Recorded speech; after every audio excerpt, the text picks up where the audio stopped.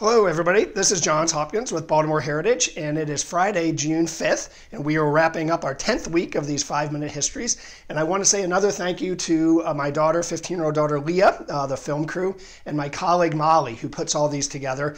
Um, and I have to say, we will add a new title uh, to Molly uh, to, as the chief of film production. And uh, Ken Burns, you better look out, she's gaining on you fast.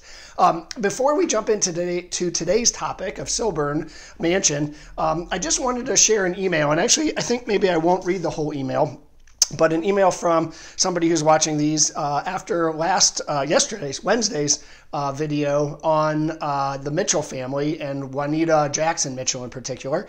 Um, and she commented that she's been involved with cleaning up a cemetery at Mount Auburn and came across Juanita Mitchell's grave that needed some help.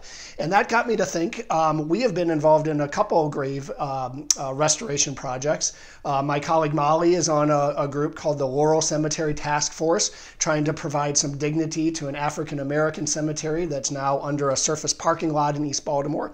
And we've been trying to be helpful to a group um, who are cleaning up St. Vincent de Paul Cemetery, um, also in East Baltimore, a cemetery that had been neglected and then vandalized, and then the gravestones removed, and then a uh, golf cart path put over part of it. And that group's doing fantastic work.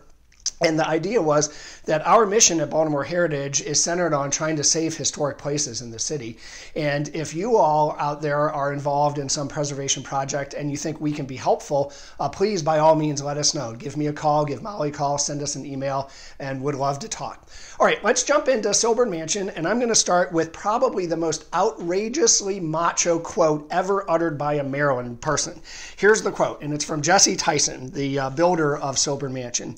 Um, he says, I have the fairest wife, the fastest horses, and the finest house in Maryland. Um, what, what, a, what a braggart.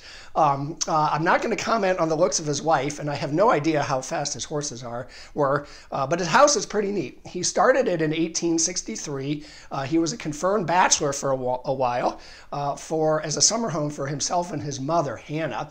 Um, uh, but he doesn't get it done until 1888. And in 1888, he, he at age 61 marries the 19 year old debutante Edith Johns. And, uh, and then he completes his mansion. So maybe he's that's a pretty happy year for him. He gets married, he gets his house. I don't know how his horses do. Um, but uh, but he moves in there with Edith, um, and Jesse is the head of the Baltimore Chrome Works Company, um, and we're going to talk about that uh, in a second. Um, and he's actually the second head of it. He inherits it. He inherits it from his father Isaac Tyson. Isaac, we talked about in a prior video uh, in relation to founding the McKim Free School. Um, but Isaac was born in Maryland. This is the dad. Uh, was born in Maryland, born in Baltimore, um, and went off to France to study uh, geology at a young age.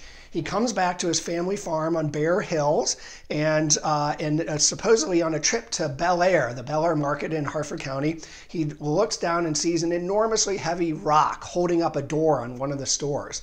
And maybe nobody else recognizes what, what it is, but he recognizes it, recognizes it as chromite. Um, and so he goes out hunting, and he, um, lo and behold, he finds chromite on his family farm in Bare Hills. And he also makes the connection between a type of ecology called serpentine barren, uh, serpentine barren ecology, and the presence of chromite.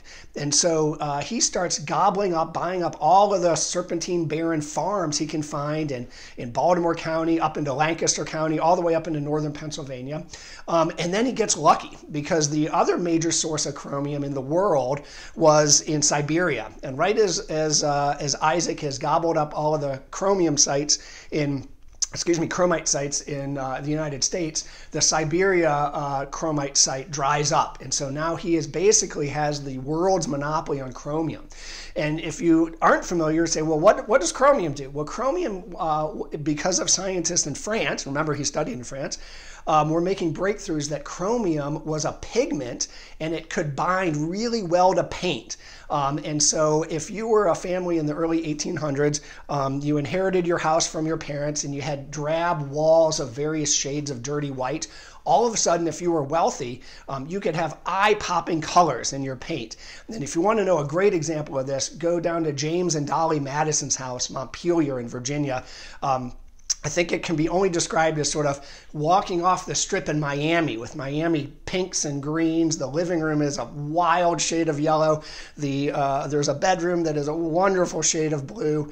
Uh, we would not call these subdued colors. These are these are really vibrant, um, which was a status symbol for the day, um, but maybe also a little bit due to the Madisons. Um, Dolly Madison, the famous host, apparently her favorite flavors of ice cream were tomato and and then get this oyster. Even the hardcore oyster lover Baltimoreans have to sort of wince at oyster ice cream.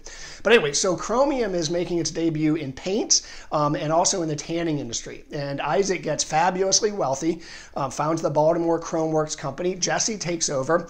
It locates uh, on the north branch of the Patapsco River in what we would call today's Inner Harbor. Um, you know the site for many years as Allied Signal.